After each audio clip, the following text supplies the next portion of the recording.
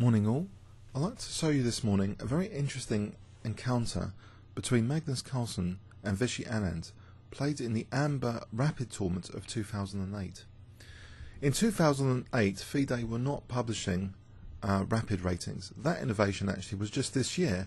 1st of July, the lists of player profiles on the FIDE website started showing rapid FIDE ratings and blitz FIDE ratings. If you want to shop for such ratings, by the way, you might be interested in London Classic coming up uh, next month. Each night there will be a five minute tournament which will be FIDE rated. I think it's run by Adam Raoof. And each weekend on the Sunday, the, uh, Saturday and Sunday, I think there'll be rapid tournaments. So you could actually shop for three different types of FIDE rating if you play in the London Classic and its events. So it's very exciting now that these different skills uh, areas. I mean, they're virtually different genres, different games of chess, where you could, you know, create strategies which make you very good on, say, rapid or blitz, but they might not transfer to each other. As I personally, I think I'm dis- discovering. So, um, so here anyway, rapid skills are being demonstrated in the Amber Rapid. Um, I think it's Oosterom who organised these tournaments, as well as um, the Amber Blindfold, which is certainly not. Uh, measured by FIDE yet, or as part of the FIDE rating card. But um, okay, Magnus kicked off in this rapid game in 2008 with C4, the English opening, and Vishy replied E5, and we get G3. So White's trying to get more control over D5 with this system. It looks like a reverse Sicilian. C6, and now D4, interrupting black a little bit, disturbing the e5 pawn. It now goes to e4, and we have a kind of reversed French in a way, especially if black's allowed d5.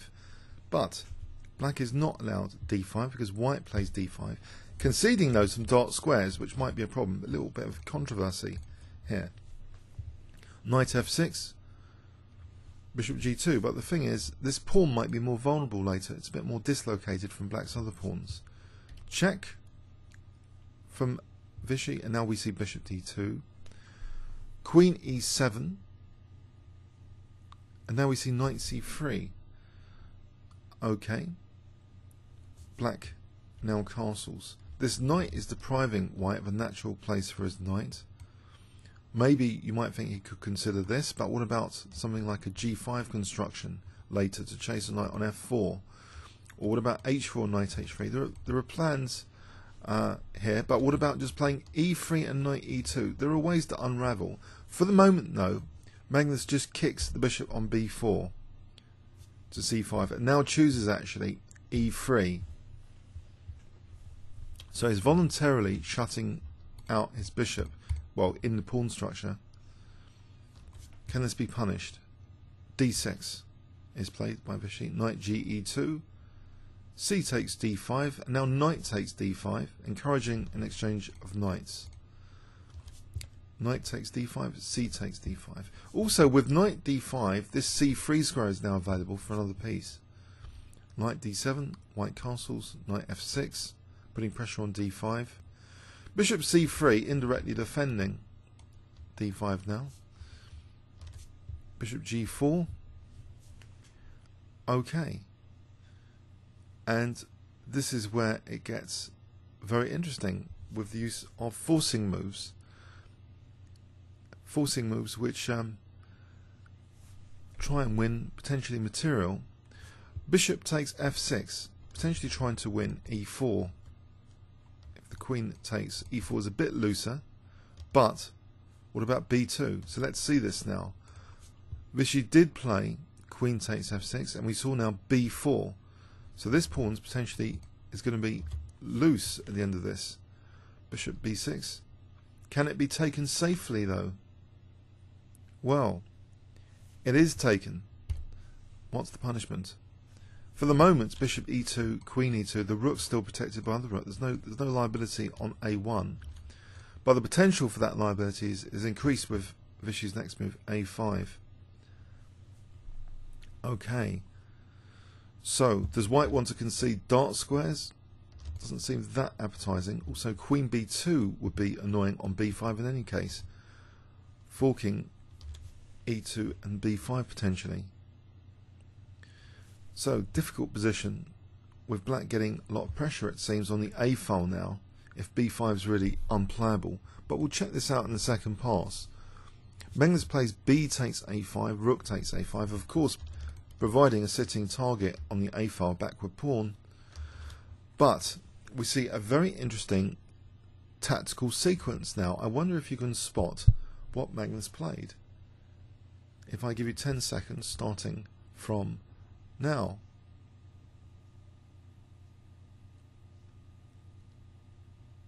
Okay, Magnus plays bishop takes h7 check. He spotted a nifty tactic. The king does take, and now we see, can you guess? Here? Check. Nifty tactic indeed. Exploiting that loose bishop. The slight weakness of the last move, a5, was, was b6, and it's been pounced on with this tactic, that b6 square. So this has solved some of White's problems. Queen takes b6, doesn't matter about the knight hanging because now the rook's attacked. Okay, so that's protected as well as putting more pressure on a3.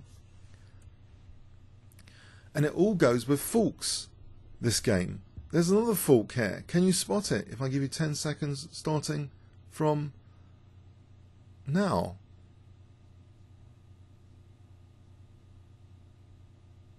Okay, queen d4. Double attacking f6 and g4. Okay.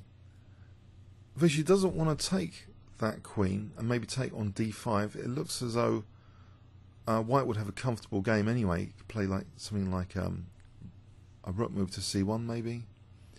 So he plays queen f3, which has a lot more promise just to mate White. It is a rapid game after all. Okay. But in this position, um, it seems you might think uh, well, the threat is also, as well as bishop h3, the threat is immediately to take the knight as well. And you might think, well, what about knight f4? Would that do? The problem with knight f4, that there might be, in fact, the move g5. If the knight moves, then bishop h3 comes back as a major move. So this is a little bit tricky, this position. But there's a really elegant move. Also, d5 is loose. Magnus solves all the problems here, believe it or not, with this next move to do with d5, to do with h3, to do with g2. It's a magical move in its own right, a simple move. I wonder if you can spot it if I give you 10 seconds starting from now.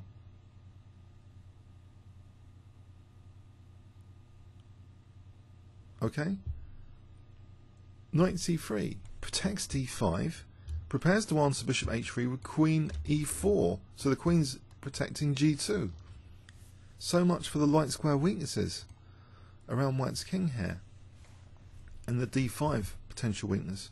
So white has retained, very cheekily it seems, uh, a healthy pawn up right now. Or is it more? One, two, three, four, five, six. One, two, three, four. Two pawns up right now. In fact. So black plays rook e8. And now another tactical move, making full use of the power of double attacks in chess. Can you spot this next move if I give you 10 seconds starting from now?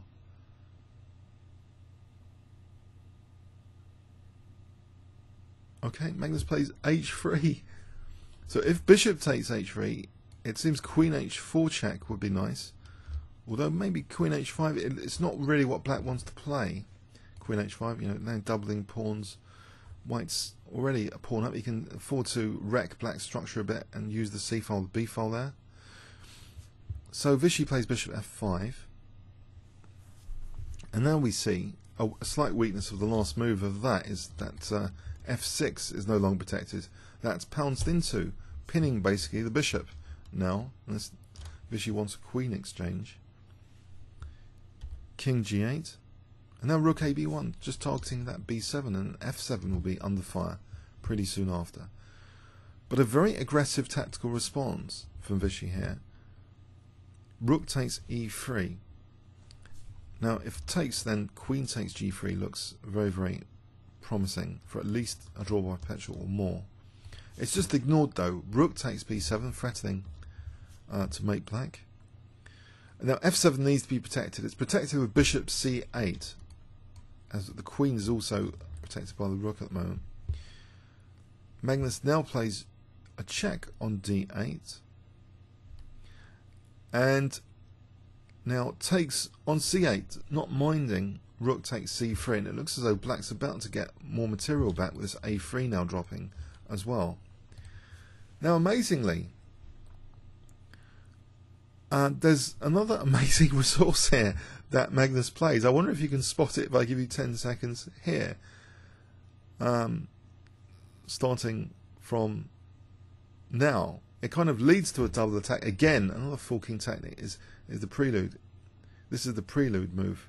So 10 seconds starting from now. Okay, rook takes f7 check. Well, it's clear that queen takes f7, there's queen takes c3 check, and actually wins the rook on a5 as well. So that's not possible. So Vishy plays king takes, is the only move it seems. Check. And now it's apparent that this rook's still a vulnerability here. King f6, king, queen d8 check, forking. and and White's still going to be ahead a little bit. Let's have a look now. Queen takes a5. Remarkable double attacks so far in the game. And the material now is White's now three pawns up. About to lose a3 though, so two pawns up. Now he plays Queen b4, holding on to the rook, so d5 is not en prise. So King e5 is played. Queen d2. Most of the problems are now resolved. Rook d3. Check. Queen f5. Check. Okay, and now getting the queens off here. White's got dangerous h-pawn runner here. King g2, which provides rook h1 if needed as a resource as well. Rook a3, h4. The h-pawn is starting to be pushed. h6. And now the king steps out at leisure to try and help or attack f5. The h pawn is protected. Check. Trying to drive the king in front of the d pawn to gain a little bit more time. And now the king goes to f4. King g5. The king is ready to herd the pawn now. And now rook d6 offering a trade of f2 for d5, which would be in white's favour. This this pawn's winning in any case now. So here Vishy resigned. And this represents, I think, the first um, game on any time control that Magnus beat Vishy Anand. So the Rapid is to be taken more seriously for those after FIDE ratings nowadays. As of July this year, you know, it's part of all the FIDE rating cards. But um, Vishy Anand was known as a, an exceptionally fast grandmaster, um, playing moves very, very quickly in early in his career. And this, this rapid time control was one of his uh, niche uh, areas of chess. Um, and so it was quite an achievement for Magnus to be able to beat Vishy in this time control. But the tactics, I think, are quite stunning, considering the time control especially. Let's do a second pass, uh, checking what the engine for this this rapid game. So, okay, so we have the English opening with a slight difference. D5 is not minded by the engine here. So Magnus is not keen to play like a reverse French defence position with Fianchetto. He doesn't mind that uh, D5 being slightly loose. So white's okay here. Both sides are okay. Knight takes D5 is to be preferred. Okay. So about equal so far. We saw bishop c3. And then we saw this forcing move bishop f6, which I'm not entirely sure the engine likes actually. It's not mentioned it. Okay, maybe it dropped the advantage tiny bit. I maybe need to give this more time, but uh, it's a little, it feels a little bit forcing. So let's see what happened. So b4 to protect b2 and attack the bishop. Now taking that e4 pawn, Now, is it possible there was something much simpler than a5, which seems to lead to a vulnerability on b6? So rook fe8, for example, and then queen b2. Black would have pressure here with the rooks and the bishops. Uh, but is it enough for a pawn? Mm, not entirely sure. But um, Engine has it about equal. So let's go back anyway. We saw A5. And this promises white an advantage technically. The engine sees all these tactics, I believe, and probably sees rook takes a5 as a bit of a blunder, preferring bishop c5. So in principle, um, the b6 bishop is loose, it's finding resources to exploit that theoretical like weakness possibility. You know, the Achilles heel of the uh, Death Star in Star Wars, the, the way James Bond escapes. In principle, there's a way, but is there a resource to actually exploit the, the kind of weakness of the setup here? Well, the engine will probably pounce on that in um, in a millionth of a second with bishop takes h7, exploiting that slight weakness in that position. And white is now over a, half a pawn ahead after this.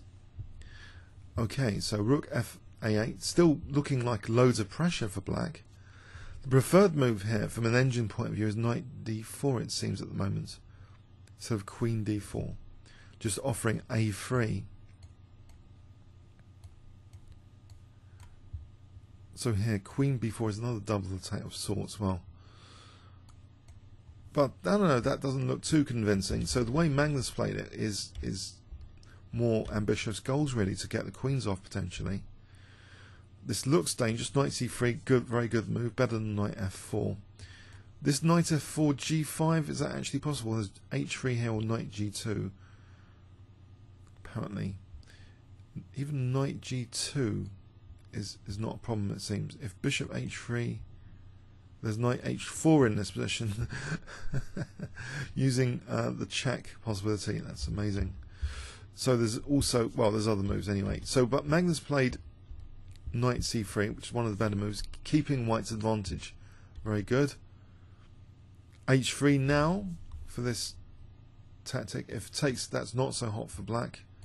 Having to force queen h5 out would damage black's pawn structure a bit, and that b7 is a liability. So, okay. So white's in the driving seat now. Queen f6, very strong move. Maybe bishop f5, slight inaccuracy. Maybe bishop c8 to be preferred, keeping eye on f6. So now this this looks as though white's got a very definite advantage after queen f6, after this slight inaccuracy, bishop f5. Black not wanting to treat the bishop all the way back. So king g8, and now the rook is coordinating with the queen potentially. Rook takes e3, it's just ignored with rook takes b7. Bishop c8, is that virtually the only move? It seems there's not too many ways to defend f7. Okay, and white is ending up with a huge, huge advantage here. Check. Queen takes c8. Did Magnus miss something here in playing rook takes f7? It seems the engine is crying out in this position for queen d8, still using the loose rook on a5, but much stronger than rook f7.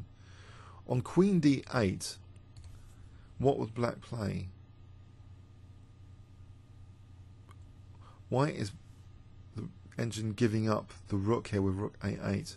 Let's just play a move like taking on a3. Rook b8 threatens queen h8 mate. What can the king do?